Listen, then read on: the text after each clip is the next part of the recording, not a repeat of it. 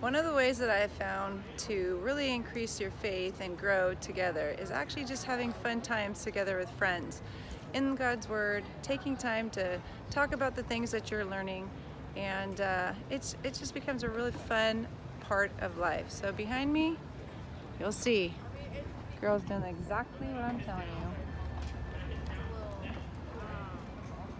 It's a little hard because it's like it's like described like Paul like.